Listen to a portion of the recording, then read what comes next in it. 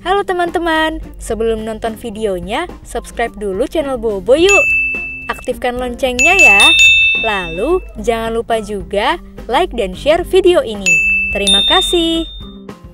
Halo teman-teman, ketemu lagi sama Kanesha, dicobain yuk.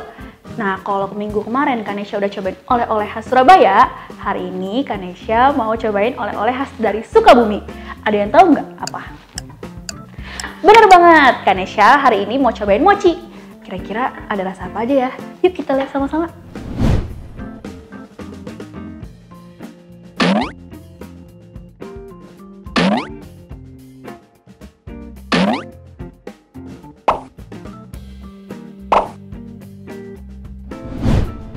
Nah, ini dia mochinya teman-teman. Kalau teman-teman taunya mochi isinya kacang tanah aja, kalau mochi dari Sukabumi ini punya rasa yang macam-macam dan kekinian. Kayak yang di sini ada rasa KitKat, Ovomaltine, sama ada juga rasa Milo. Kira-kira rasanya kayak gimana ya? Kita cobain sekarang yuk. Sekarang Kanesha mau cobain yang rasa KitKat dulu.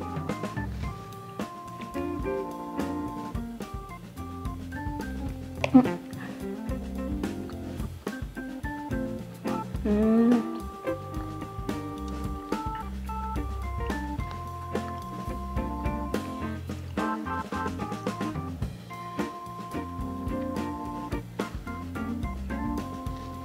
Jadi teman-teman, kalau yang rasa KitKat ini uh, rasa manisnya tuh dari coklat KitKatnya aja. Kalau teman-teman bayangin coklat KitKatnya utuh di dalam, enggak teman-teman. Jadi di dalam sini tuh KitKatnya udah dihancurin dulu, baru dimasukin ke dalam mochinya. Terus uh, mochinya tuh lembut dan nggak terlalu manis. Jadi pas banget sama rasa KitKat yang udah manis. Sekarang Kanisha mau cobain yang Ovomaltine. Hmm. Oh dari pas dipegang gini teman-teman yang Ovomaltine ini mochinya kerasa lebih lembut sih dibanding yang KitKat. Coba sekarang ya.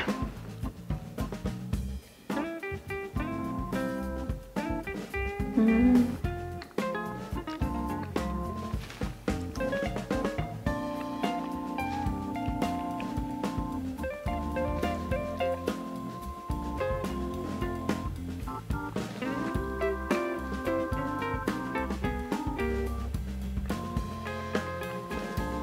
Untuk yang Ovomaltine ini emang mochinya jauh lebih lembut dari yang pada yang KitKat.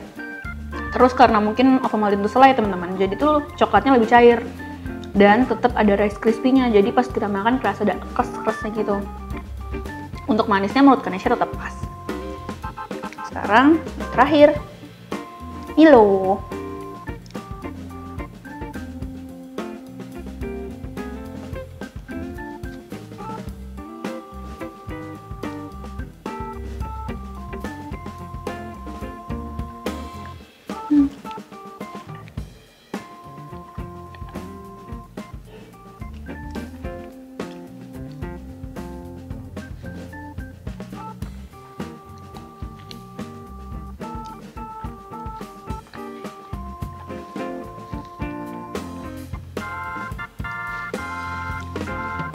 Nah, buat yang Milo ini, tekstur mochinya tuh sama sama yang Ovomaltine, jadi jauh lebih lembut. Terus, Milonya itu bukan berbentuk bubuk teman-teman atau bentuk cube, tapi dia kayak udah agak cair gitu, jadi pas di dalam mulut tuh meleleh gitu. Dibandingin yang KitKat Ovomaltine sama yang Milo ini, yang Milo rasanya agak lebih hmm, manis gitu sih. Oke. Okay. Nah, teman-teman tahu nggak makanan kenyal-kenyal ini berasal dari Jepang, tapi juga terkenal wow, terkenal di Tiongkok sama Taiwan. Bedanya kalau di Jepang ini tuh cuma biasanya dimakan pas ada perayaan tahun baru aja. Tapi kalau di Tiongkok sama Taiwan ini tuh cemilan, jadi bisa dimakan kapan aja. Hmm. Nah, teman-teman, jadi mochi ini kan terbuat dari beras ketan. Beras ketan ini tumbuk sampai halus banget.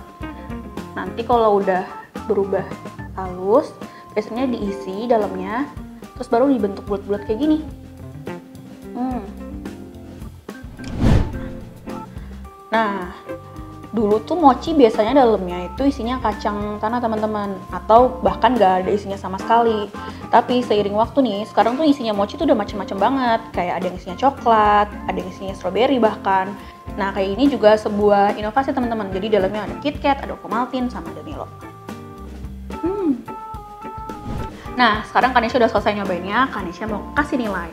Dari yang urutan terakhir dulu Kanesha kasih nilai 7 itu jatuh kepada mochi rasa Milo. Kenapa Kanisha kasih nilai 7? Karena menurut Kanisha bakal lebih enak kalau Milonya itu berbentuk bubuk di dalam teman-teman, nggak cair kayak gini.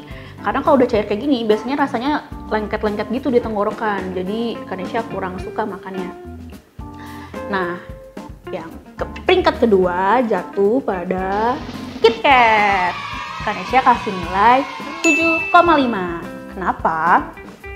Karena seharusnya tekstur KitKat yang kayak wafer itu berasa karena udah dihancurin jadi kayak makan coklat biasa aja teman-teman gitu. Tapi untuk rasa manisnya Kanesha tetap suka pas dan juaranya jatuh pada Tara.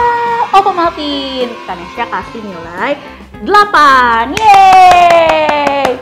Karena semuanya dapat nih di Maltin. Rasa manisnya pas terus cairnya juga pas dan ada crispy-crispy-nya juga khas Maltin banget. Jadi Kanesha paling suka yang Ovomaltine ini. Nah, kalau teman-teman punya makanan yang pengen Kanesha cobain, bisa tulis di kolom komentar ya. Sampai jumpa di episode Cobain Yuk berikutnya. Dadah!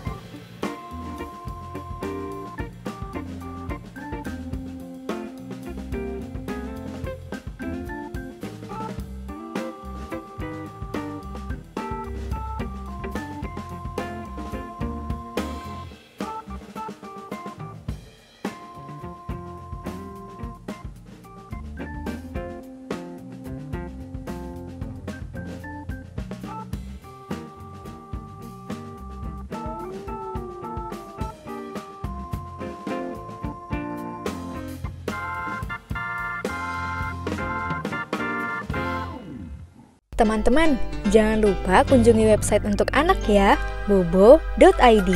Like, comment, share, dan subscribe juga ke channel Bobo yuk!